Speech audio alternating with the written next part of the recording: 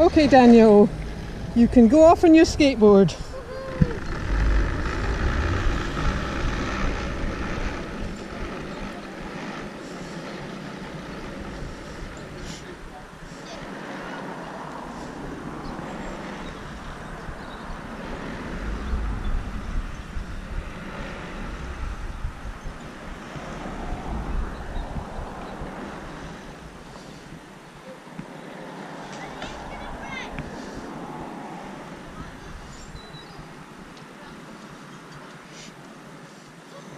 Is it quite a pool?